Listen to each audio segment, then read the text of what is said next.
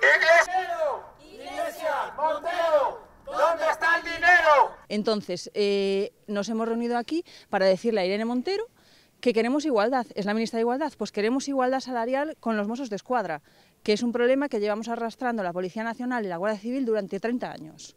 Y la habéis etcétera y no habéis conseguido Sí, el eh, objetivo, ¿no? veis que, tenemos un.